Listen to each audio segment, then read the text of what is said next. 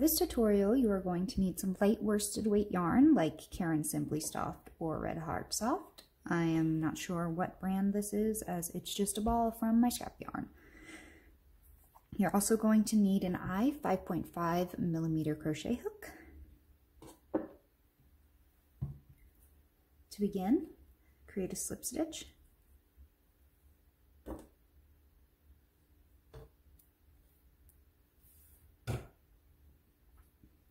Chain 9.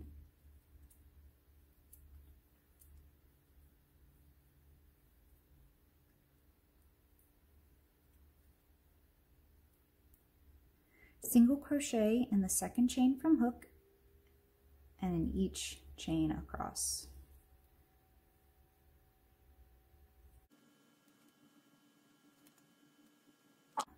For rounds 2 through 28, we are going to repeat by going chain 1 and single crochet in the back loop only. So here is your full stitch right here.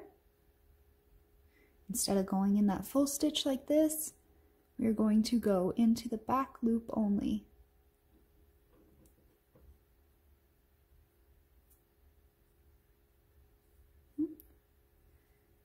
So continue working single crochet in the back loop only for 28 rows. I'll come back when I have 28. Now that I have my 28 rows, I am going to fold it in half and I am going to join with a series of slip stitches.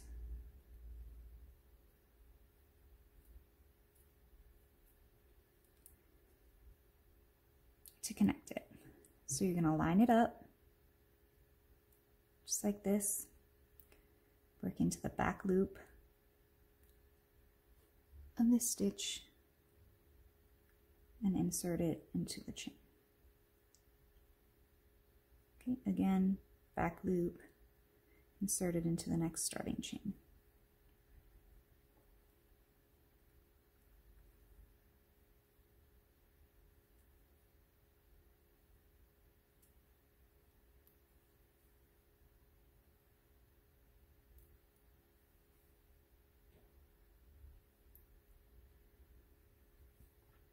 And for the last one, get that chain space, the chain stitch at the end and that first chain.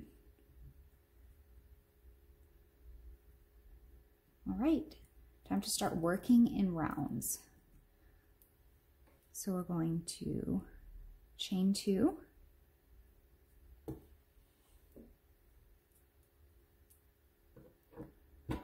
and we're going to double crochet in the side of each row around. So the side of every row, you're going to place a double crochet. So work your double crochets all the way around. Now that we've worked our 28 stitches around, we are going to join with a slip stitch to the first double crochet made. For round two, chain two, double crochet in the same stitch, chain one, skip one. Double crochet in the next stitch, chain one, skip one. Double crochet in the next stitch, chain one, skip one. Double crochet the next stitch, chain one, skip one. So continue working double crochet, chain one, skip one all the way around. Now that you've completed round two, join with a slip stitch to the first double crochet made. For round three, chain two, double crochet in the same stitch, and in each stitch around. So double crochet in each double crochet and each chain space around. So continue working that all the way around. To complete round three, join with a slip stitch to the first double crochet made. For rounds four through seven, we are going to repeat round two and three. So we're going to have for the next round, double crochet, chain one, skip one. Then for the round after that, a solid double crochet round. Then again, double crochet, skip one, and then another solid round of double crochet. So repeat rounds two through three until you have seven rounds. Now that I've repeated round two and three two more times, I'm ready for round eight. So we're going to chain two, double crochet, chain one, skip one, a total of eight times. Two, three, four, five, six, seven, and eight.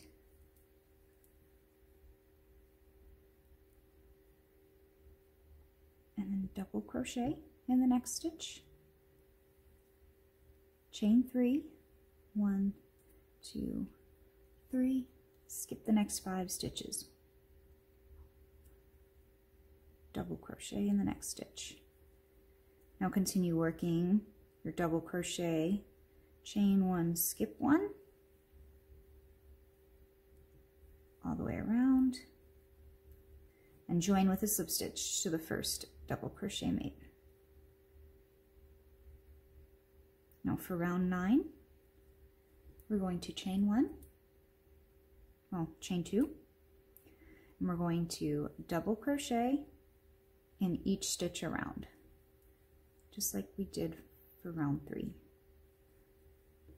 So double crochet in each stitch around. When you reach where your thumb hole is on round nine, you're going to double crochet in each of the chain spaces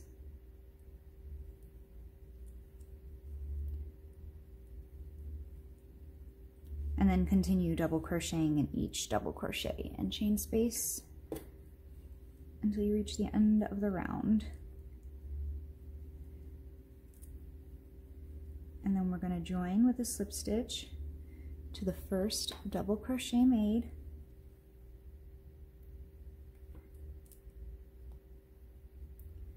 Now for round 10, we're going to chain two and we're going to repeat our double crochet chain one, skip one, all the way around. So double crochet, chain one, skip one, double crochet, chain one, skip one. So continue working that all the way around.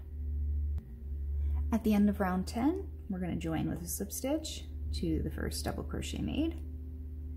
Now for the 11th and final round, going to chain two, and you are going to double crochet, in each stitch around.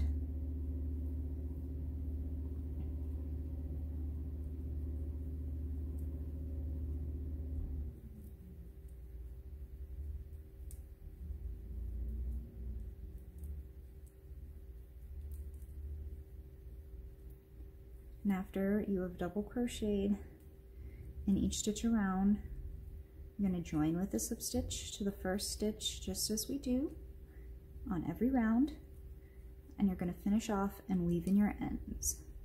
Both the right glove and the left glove are the same pattern, so just create two of these.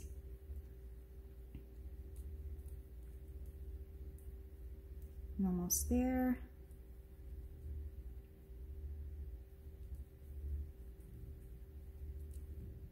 If you don't like the top part of your glove to be so long and cover too much of your knuckles, you can replace this double crochet round with either a single crochet round or a half double crochet round. All right, join with a slip stitch to that first stitch. And then I'm gonna finish this off. I always break my yarn.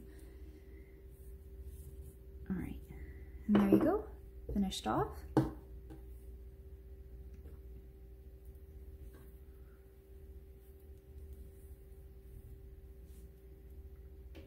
And there you have it, your finished glove.